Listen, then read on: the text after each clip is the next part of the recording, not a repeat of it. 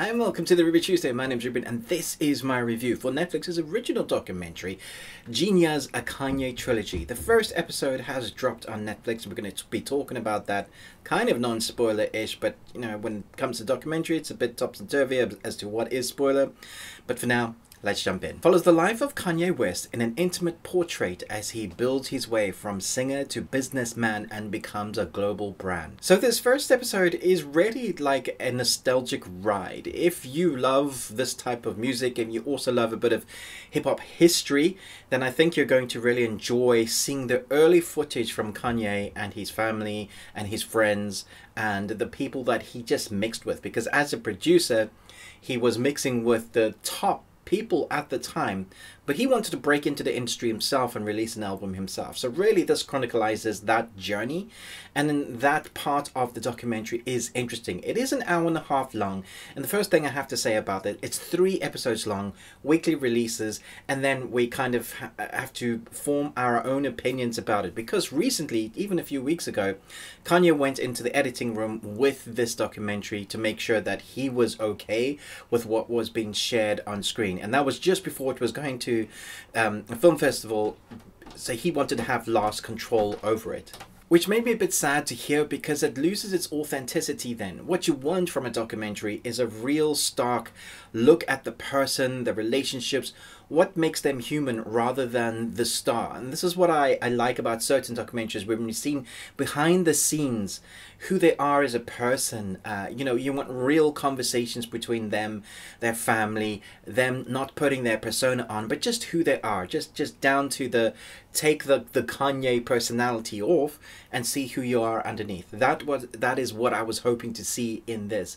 Unfortunately, you don't get a lot of that. There's a lot of introductions in this hour and a half. A lot of this is who I am, showcasing where they came from. And that in itself is interesting because looking at way back when, and looking at, you know, from like Snoop Dogg and Dr. Dre, mixing with those people, seeing how they talked in front of the limelight, that wasn't really quite the limelight because this is um, Coodie filming who he was. So Coodie had been this guy that he met way back when and then chronicles his journey, kind of gives up being a comedian and then follows this life story. So we have footage from many, many years back, which is interesting because they knew they were going to be making a documentary back then, but only kind of released it now. So the footage we have is very interesting and it's cut together, uh, I would say, to make it a journey, a ride but there needs to be some climactic moments, some gut punches, some real drama in there. And there is right at the end, which makes going to make you want to watch the next episode. And uh, I think hopefully like the middle piece of this this trilogy will be interesting.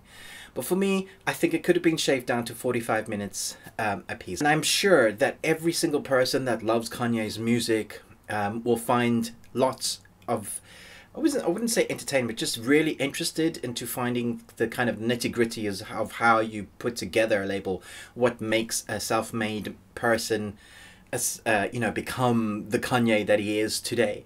And I thought that part was interesting because this, this first episode really is just like the origin story. It's act one, it's three acts. So I think by the time we get to the end, we'll see the, the, the Kanye that he is. But for now, this really is chronicalizing him meeting all those people, having all the doors shut in front of his face, but striving and persevering and carrying on.